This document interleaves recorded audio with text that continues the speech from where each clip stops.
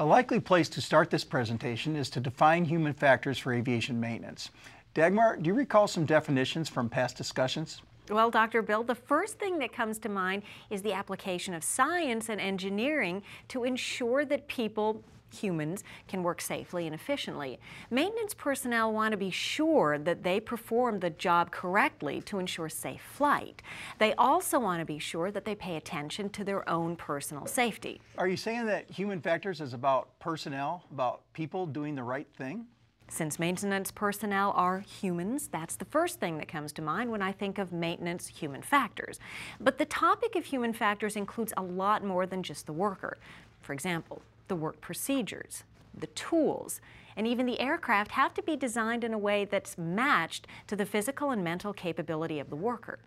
So, simply stated, human factors programs ensure continuing safety and efficiency by paying attention to issues that affect human performance. I suggest that those issues to which I just referred include a broad array of scientific and engineering fields. Can you identify examples? Absolutely. But my examples have the highest value for this presentation if I put them in plain language. Plain language. I'm in favor of plain language. Okay then. It seems like the definition of human factors is based on whom you ask. It seems to include pieces from a lot of disciplines. There's a lot of psychology involved in human factors. In fact, I took a human factors course from the psychology department in college, but every week a different professor showed up. Someone talked about clinical psychology, like the general mental conditions of humans. She was a psychiatrist, and you know psychiatrists have a lot of medical training. Therefore, she also was able to talk about physical health and the effects of medication, alcohol, and other substances and how they affect performance.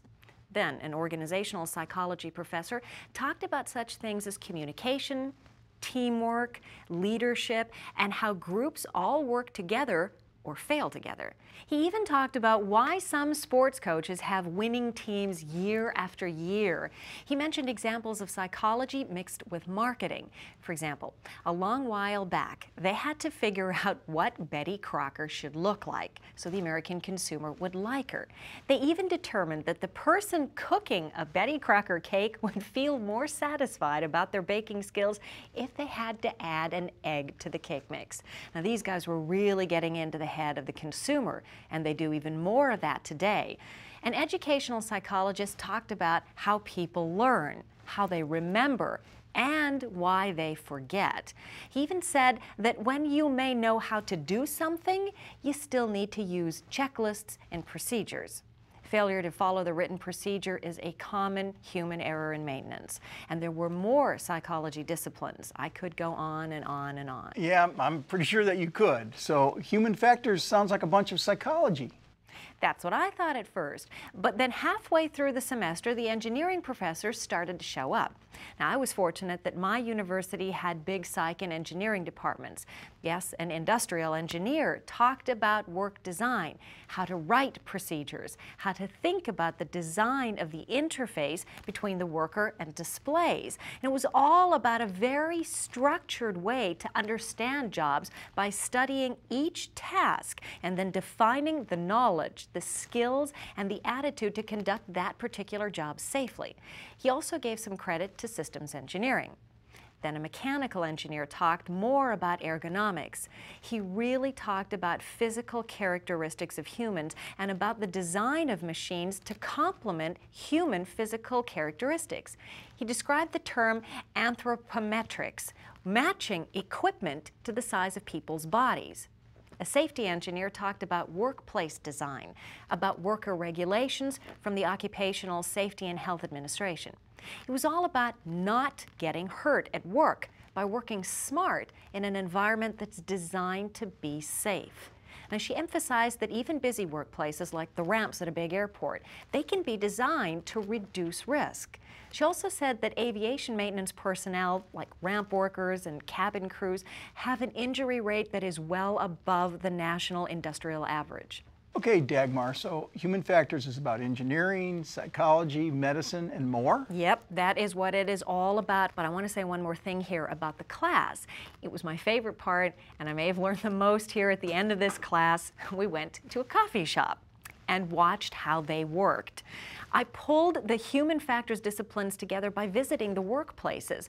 We went to an aircraft factory and we observed how the work was going on there. Then we went to a school where they designed computer-based training. We went to an airline and looked at how simulators are used to train mechanics and pilots. We even went to an emergency clinic where we saw a lot more than we wanted regarding industrial safety and worker injuries.